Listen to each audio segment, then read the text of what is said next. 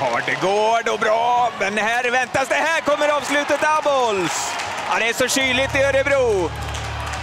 Ja, man hann nästan att tänka att man hade spelat bort chansen, men man hade full kontroll och kan glädja de tillresta Örebro-supportrarna.